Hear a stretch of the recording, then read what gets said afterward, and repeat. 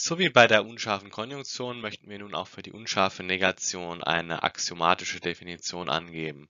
Eine unscharfe Negation ist eine Funktion, die von dem Intervall 0,1 auf das Intervall 0,1 abbildet. Folgende Eigenschaften fordern wir.